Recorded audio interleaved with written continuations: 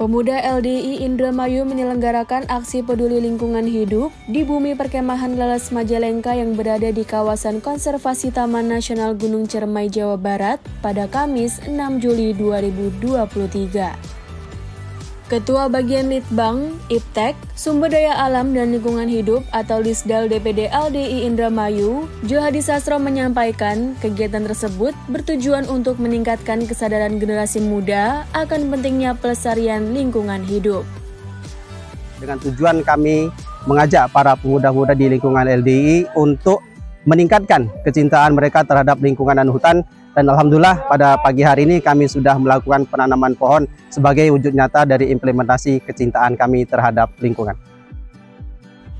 Sementara itu, Ketua Pemuda LDI Indramayu Rahmat Huda menyampaikan, generasi muda memiliki potensi yang besar untuk membawa perubahan positif dalam lingkungan dan masa depan. Bahwa dengan kekuatan pemuda, kita dapat mengubah masa depan menjadi yang lebih baik. Dengan aksi nyata, kita dapat mendorong perubahan positif mulai dari lingkungan sekitar kita.